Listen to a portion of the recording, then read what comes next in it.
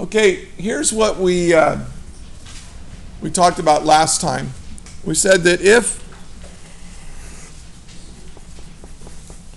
I take a crate and I drag this crate across the floor with some applied force, there's going to be a component of the interaction between, like, here's the floor, and here's the crate, right?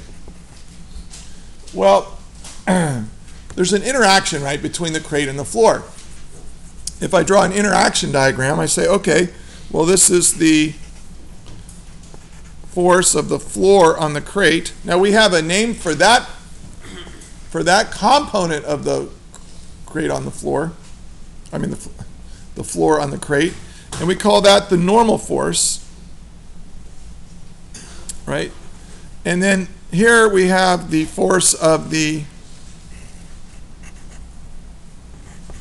This is the force of the crate on the floor. Oops. I am out of it today.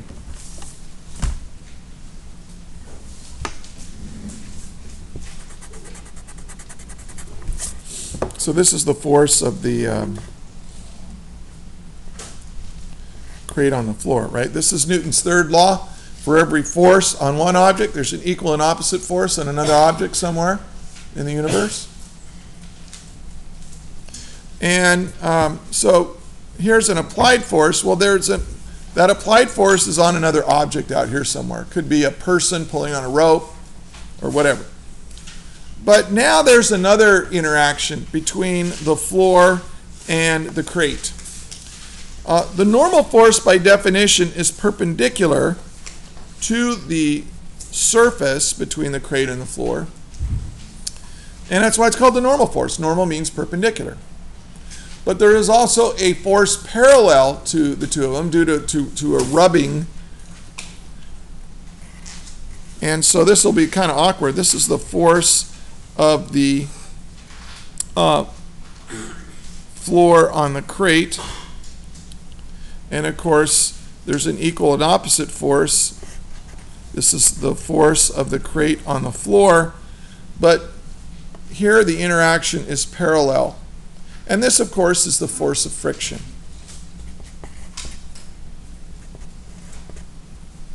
Okay?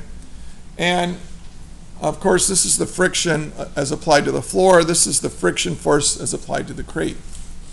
So if I draw a free body diagram of the crate, I separate it from the interaction diagram and only draw the forces acting on the crate. The applied force, the force of friction, the normal force, I'm sorry, the, the weight, mg, force of gravity. Oh, I left that off of here, the interaction diagram, and the normal force. Okay? And so then we can apply the procedure to, to all of this. But I mean, the, the bottom line, and here's the point I'm trying to make that if you were to actually draw the, the force of the floor acting on the crate, it would actually be some force that's kind of upward like this because it would include the parallel component, which is the force of friction, plus the normal component. Um, but but we're not really ever going to do that. We're always we're going to take it's as if we're taking that one force, that interaction between the crate and the floor, and we're just automatically breaking it up into its components. And the, a component that's that's perpendicular to the plane of interaction and the and parallel. And, and the perpendicular we call the normal force, the parallel we call the force of friction. All right. Uh, now, and then we said that, you know, if, if here's an empty crate, and if it's empty, it doesn't have much mass, and therefore it doesn't have much weight, and therefore there's not a whole lot of normal force, and therefore there's not a whole lot of friction. So if I apply this applied force, this thing's really going to go, you know, if it's big enough. but what if I fill this crate with, you know, lead bricks? Okay? Well, now all of a sudden the weight is much greater, the normal force is much greater, and the friction force will be much greater. And what we have here is a, an, you know, we can do an experiment to show this is true, but we can say, hey, the, this force of friction is directly proportional to the normal force. Okay? And, oh, and one thing though, I, shouldn't put these vector hats on there. Because here we're really talking about the magnitude. this force of friction acts to the left while this normal force is perpendicular to it. So, uh, now, the amount of friction you get for every unit of normal force you've got depends on the materials and it depends on mu. And mu is this thing we call the coefficient of friction. And the coefficient of friction depends on the materials involved. Right? If you have some materials are, are much more slippery than others, like steel on steel, it's actually fairly slippery. Um, very low friction. If you have um, you know rubber on pavement, there the coefficient of friction is quite uh, high. That means you get a lot of friction for a given amount of normal force. okay, so that's the coefficient of friction. Now, there are there's two kinds of uh, friction here, and there, here's the part that we didn't really have time to get to, and I just want to briefly talk about. Let me take a uh, here's a, an eraser, and here's an inclined plane. Kind of awkward to do this on the document camera, but oh well. Um, actually, let me do it like this. Now, um, here's a physics textbook. Now, I'm going to, right now, the angle of incline is zero. But if I start lifting this thing up, I start tilting it, I'm increasing the angle of incline, and eventually, see the eraser starting to slide now?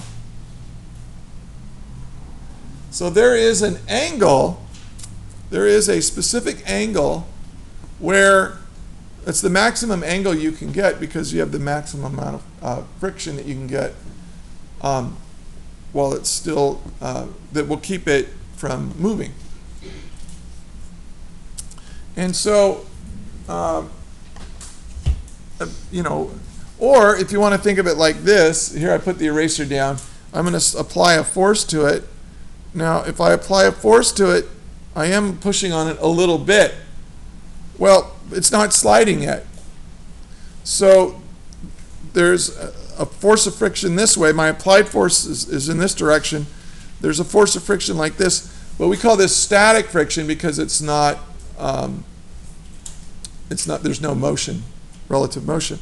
But if I go beyond a certain point, it will start to slide. Okay. now, if I draw a picture of that, let's talk about static friction.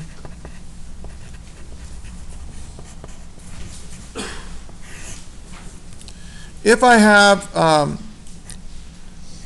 my eraser, here's my eraser and here's the tabletop, and if I apply a little bit of force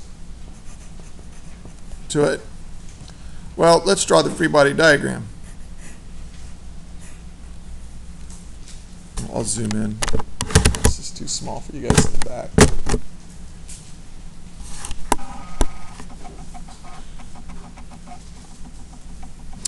So,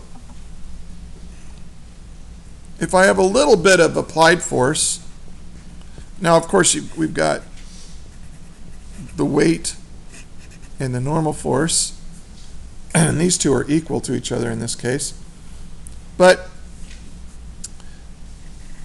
I've got a, uh, let me put, let me change this a little bit. Here's my applied force, and gee whiz.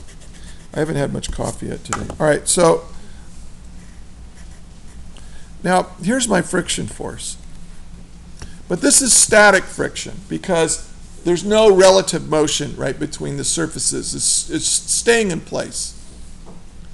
Now, if I make the applied force a little bit bigger, what has to happen to the static friction force?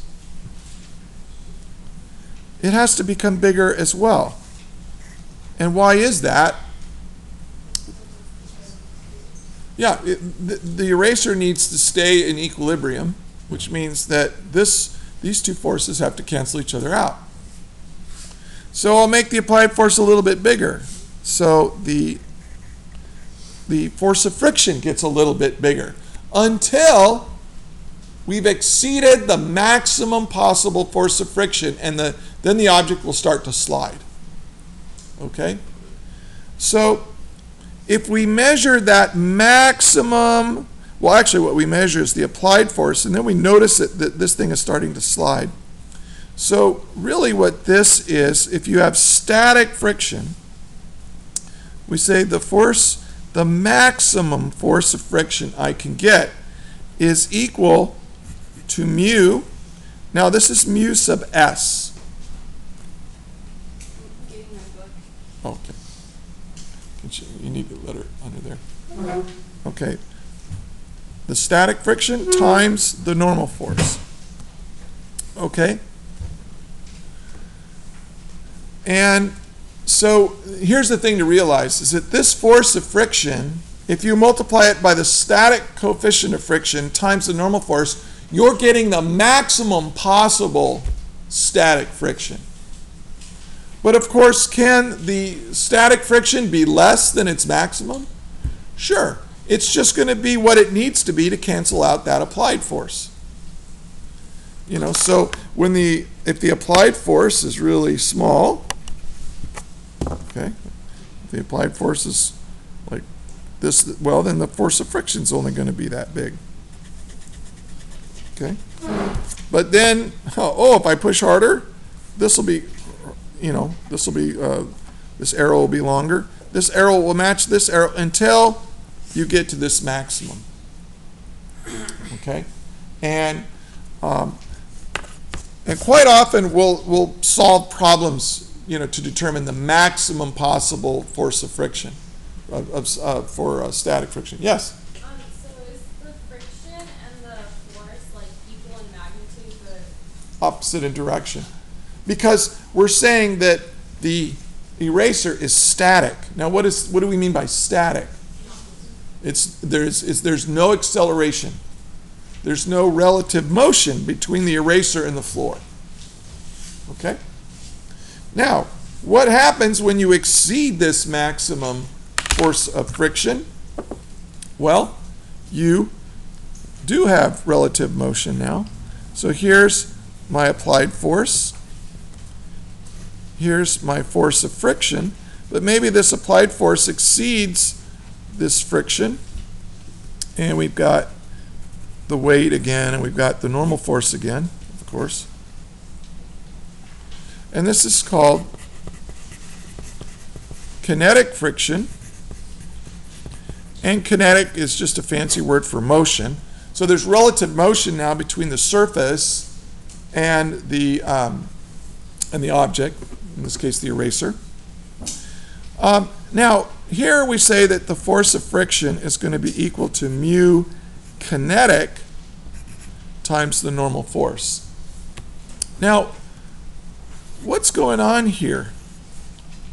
Why, why do I distinguish between the kinetic friction and the static friction, coefficients of friction?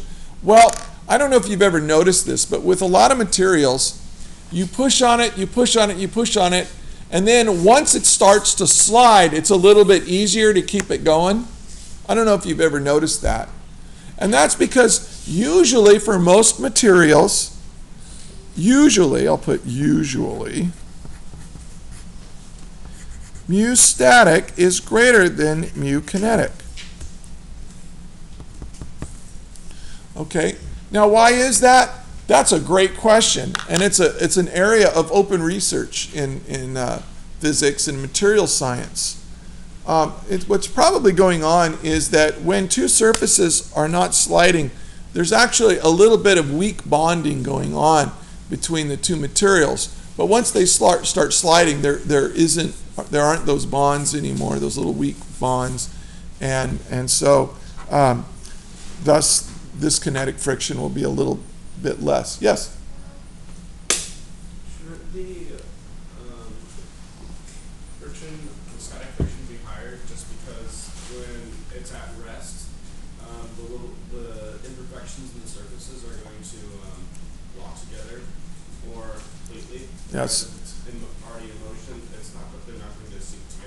Yeah, so, so the question was, wouldn't the static friction be higher than the kinetic just because when the two surfaces are, are pressed together, those little imperfections, those indentations are more locked in place?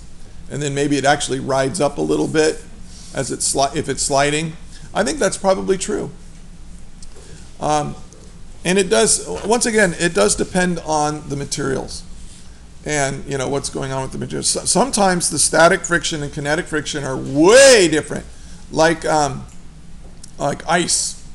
You know, you can get a kinetic uh, friction on ice that's that's very very low compared to the static friction with ice, and that's because something weird's going on, like a, a, a skate.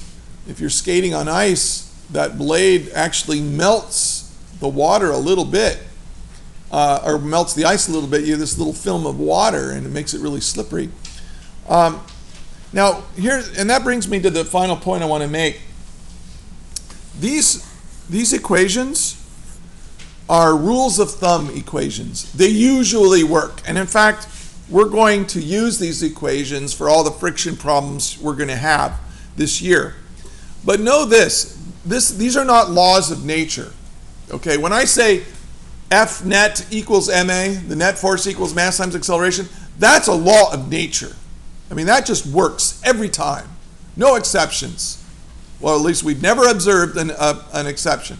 These are rules of thumb, and they can change. Uh, for example, if you are skidding to a stop, um, the coefficient of friction between the rubber and the road can actually change. Why is that? Usually it's because the temperature is getting hot, right? If you slide two surfaces together, the, the surfaces get hot. That can change the properties of the materials and change the coefficient of friction. So um, these are uh, simplifications that work qu- uh, quite, a, quite often, but they're not uh, laws of nature. Okay. So anyway, I think that that completes um, what I want to talk about uh, with friction. There's two kinds: static friction and kinetic friction. Um, now it's just a matter of using them in hundreds and thousands, perhaps millions of problems. Okay, so you can master it.